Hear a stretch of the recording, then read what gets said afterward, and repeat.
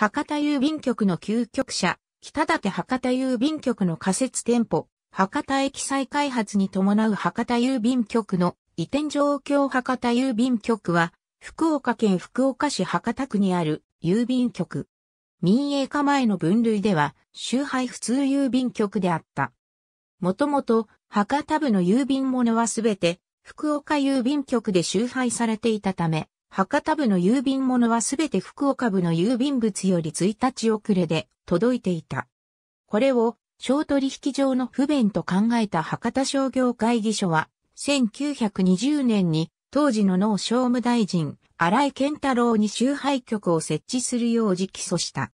荒井は予算不足を理由に難色を示したが、会議所側が商業会議所が建物を用意すればよいかと詰め寄ったため、荒井もその時は考えても良いと返答した。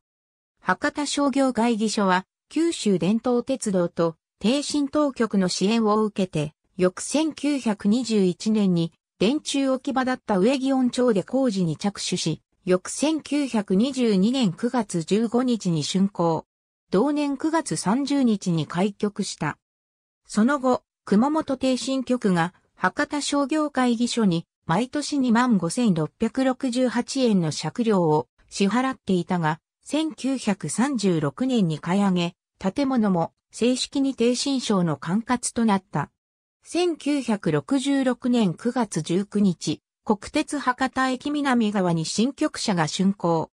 延べ坪数3242坪、職員数415名は当時九州で第3位の規模を誇り、博多駅前という立地から福岡都市建築の郵便物をまとめる地域統括拠点としての役割を担っていた。しかし竣工から40年が経過したことによる局舎の老朽化や輸送手段の鉄道から自動車、航空機への移行などにより2007年5月、市内東区に新設された新福岡郵便局に筑豊地域と合わせた郵便物まとめの地域統括拠点としての役割を移した。2010年9月21日に集配機能が福岡空港近くの国有地に移転し、当局には郵便事業博多支店博多駅前分室が設置された。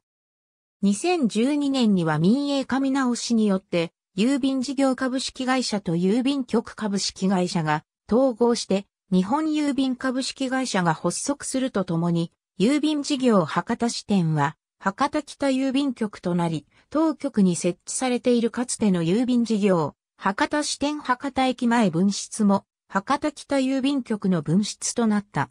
分室はなし。かつて存在した分室は以下の通り。博多駅再開発に合わせ、移転、再開発の計画が浮上。2009年4月11日に地元紙の西日本新聞がこれを報じ、その後九州旅客鉄道を含めた関係者で調整を進めた結果、2013年3月25日に都市計画として告示され、4月30日に日本郵便と JR 九州が概要を発表した。この時点で郵便局の直近の北面と東表にあった指導は、郵便局裏の敷地との交換として付け替えられていた。